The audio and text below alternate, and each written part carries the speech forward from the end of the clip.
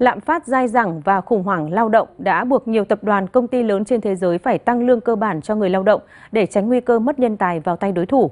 Điều này mang lại hy vọng về thu nhập thực tế tăng lên cho người lao động ở châu Á trong năm nay. Đầu năm nay, tập đoàn sản xuất ô tô lớn nhất thế giới Toyota của Nhật Bản đã chấp nhận tăng lương cơ bản cho người lao động. Đây là cú nhảy vọt về lương và tăng thưởng lớn nhất trong vòng 20 năm qua của tập đoàn này.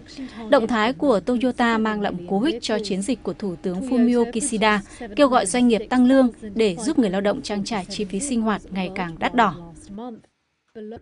Tăng trưởng tiền lương đang đạt mức cao nhất trong 30 năm, trên 3%, và đầu tư trong nước đạt 100.000 tỷ yên, tương đương 704 tỷ đô la Mỹ. Điều động thái tích cực đang xuất hiện trong nền kinh tế Nhật Bản. Việc cánh chim đầu đàn Toyota tăng lương đã tạo ra làn sóng để các công ty khác ở xứ Hoa Anh Đào đi đến quyết định tương tự. Theo đó, Honda tăng lương khoảng 5%, bao gồm cả lương cơ bản và lương theo thâm niên. Trước đó, Fast Retailing, công ty mẹ của thương hiệu thời trang Uniqlo, công ty game Nintendo và hãng đồ uống Suntory đồng loạt tuyên bố tăng lương cho nhân viên. Ở Nhật, một khi bạn đã tăng lương, bạn không thể hạ thấp chúng. Không giống như ở các quốc gia khác, rất khó để sa thải nhân viên khi nền kinh tế đang bùng nổ và giảm lương khi nền kinh tế tồi tệ. Một khi nó lên, nó sẽ phải tiếp tục đi lên. Còn tại Hàn Quốc, 78% các công ty ở nước này đã quyết định tăng lương vào năm 2023 với tỷ lệ tăng lương trung bình là 6,4%. Mức lương này sẽ được áp dụng trên tất cả các ngành nghề thuộc lĩnh vực công nghiệp.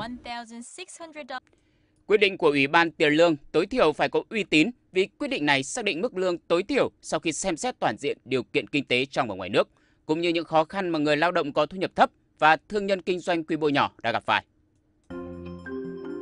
Cùng với Nhật Bản và Hàn Quốc, những quốc gia châu Á khác cũng đồng loạt tăng lương cơ bản trong năm nay để giúp người lao động trang trải chi phí ngày càng đắt đỏ. Theo đó, Indonesia tăng 6,8%, Philippines 6%, Malaysia 5,1%, Thái Lan 5,1% và Singapore là 4,7%. Dù những con số này đã giúp giải tỏa phần nào lo lắng cho người lao động, nhưng họ vẫn kỳ vọng nhiều hơn thế bởi các chi phí sinh hoạt không ngừng leo thang. Ngay cả khi lạm phát giảm xuống, một khi người lao động nhận ra rằng họ thực sự có thể được tăng lương nhiều hơn nếu họ cố gắng hết sức, họ có thể tiếp tục làm như vậy. Vì vậy, tôi nghĩ rằng những rủi ro được ràng buộc với việc tăng lương mạnh mẽ hơn.